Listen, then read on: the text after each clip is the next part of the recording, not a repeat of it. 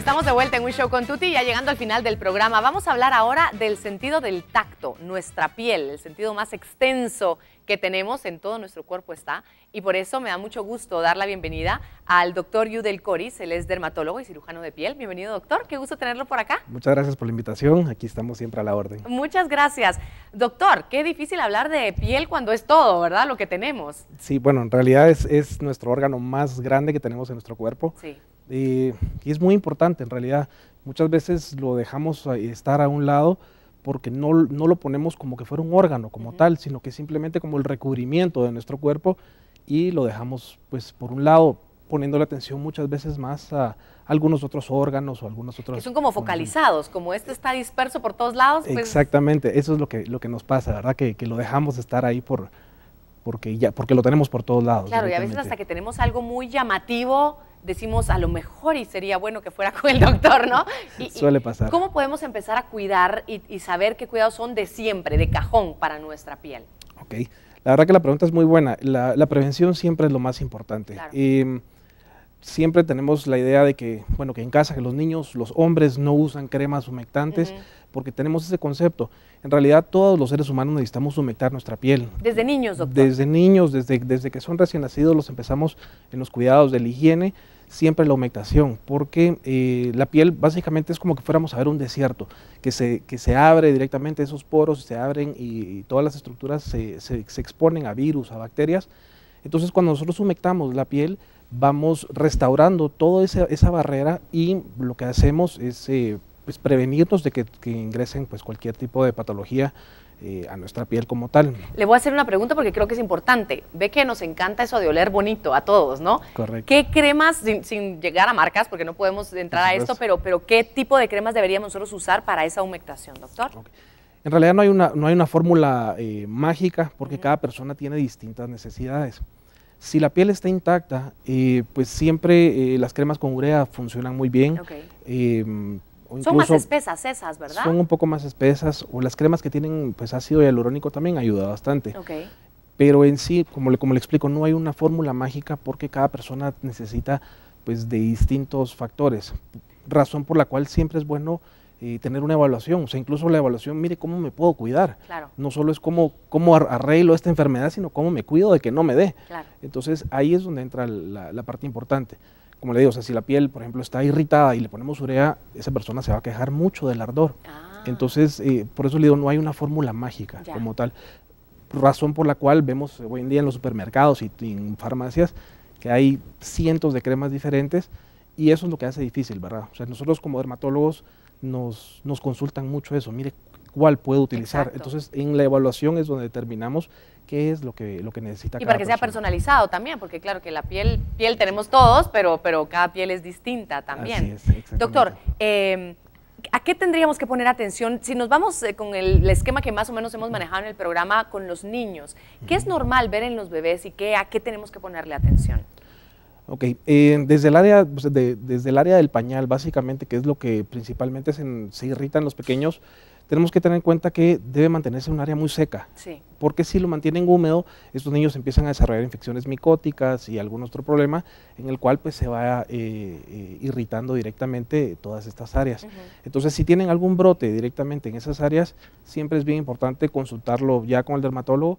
Normalmente pasan primero con el pediatra, pero luego ya lo derivan al dermatólogo cuando ya es una infección micótica o algo un poquito más complicado. Cuando ya van creciendo, eh, siempre regresamos un poco a la humectación.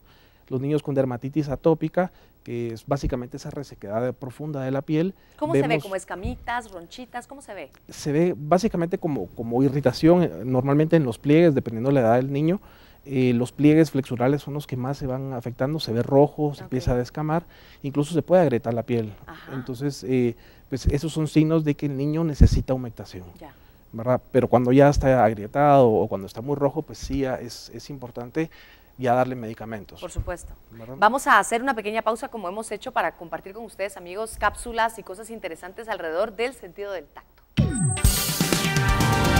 Sentido del tacto. El sentido del tacto es sumamente importante para todo ser humano El sentido del tacto nos permite disfrutar de una caricia, los cálidos rayos del sol, el fresco viento y un sinfín de sensaciones agradables, y nos protege contra sensaciones que nos pueden causar daño o dolor denominados nociceptores. El sentido del tacto es tan sensible que aún teniendo los ojos cerrados podemos identificar objetos, texturas, temperaturas, etc.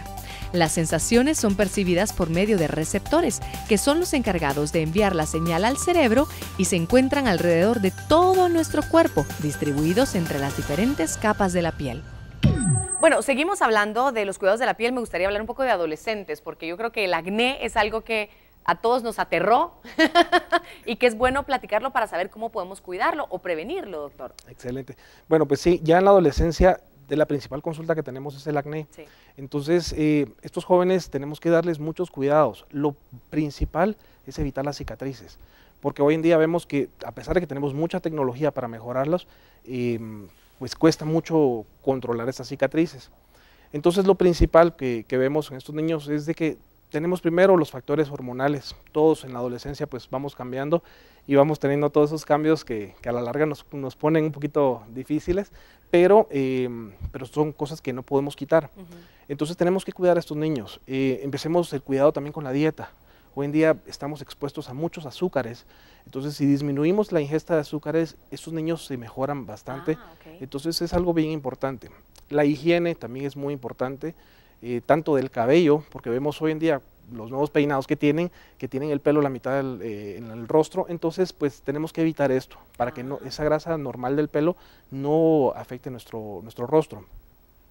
Luego la higiene del, lavado, de, propiamente de la casa, no hace falta ser tan agresivos. Muchas veces pensamos que si mientras más duro le exactamente o algo así, ¿no? Así es, más dañamos. Entonces ah. es bien importante no, no ser tan agresivos con, con, la piel. Con el lavado del rostro, ya que usted decía, no solamente en la adolescencia, sino en adultos también, ¿cuánto nos deberíamos lavar al día nosotros?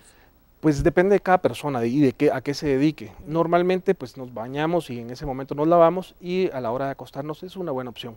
Sin embargo, si utilizamos algún jabón que es muy secante, mm. eh, pues podemos correr el riesgo de que la piel se vaya resecando demasiado y pues pueda tener algunas complicaciones como tal. ¿Es bueno usar este tipo de jabones que hablan de pH y un pH 5, por ejemplo? ¿Eso es bueno? Es correcto, sí es bueno. Sobre todo, digamos, los, los jabones, que bueno, está mal dicho la palabra jabón, pero los Sindet son productos que, que ayudan mucho para restaurar el pH de nuestra piel buscar algún pH más parecido al pH normal de la piel es bueno. Por esa razón vemos hoy en día 4.5, 4.7, 5. ¿Esos son buenos?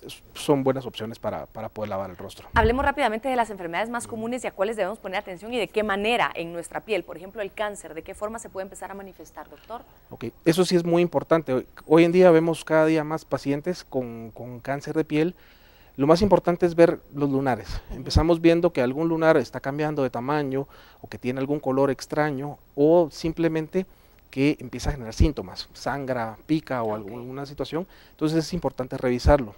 Asimismo hay personas que tienen muchos lunares, pero siempre buscamos como que el patito feo. Ver cuál de todos estos es el que es diferente a todos, ah, porque ese es el que le tenemos que poner un poco más de, atención. Siempre pues la evaluación dermatológica para, para esto es, es muy importante.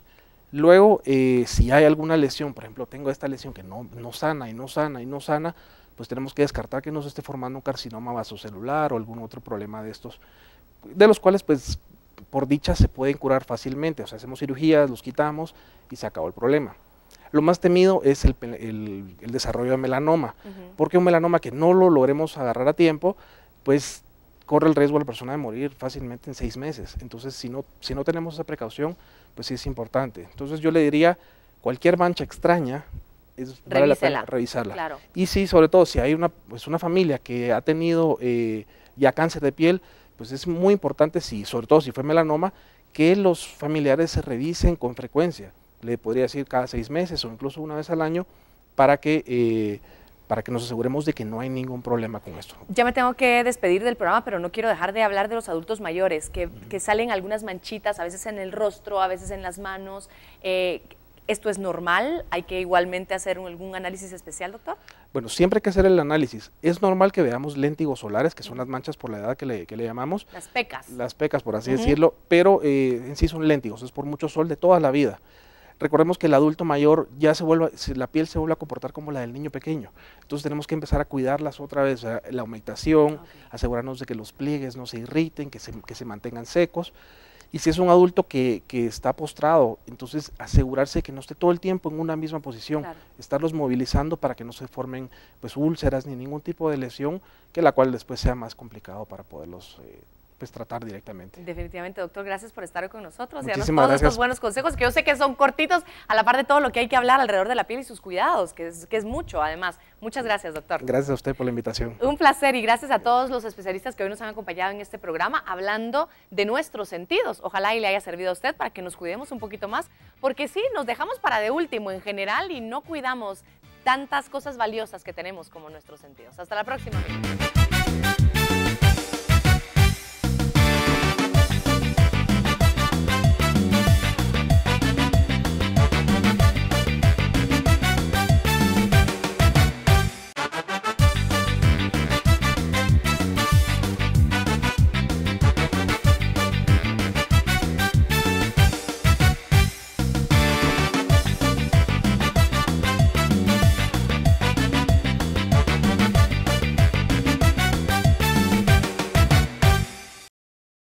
Guatevisión presentó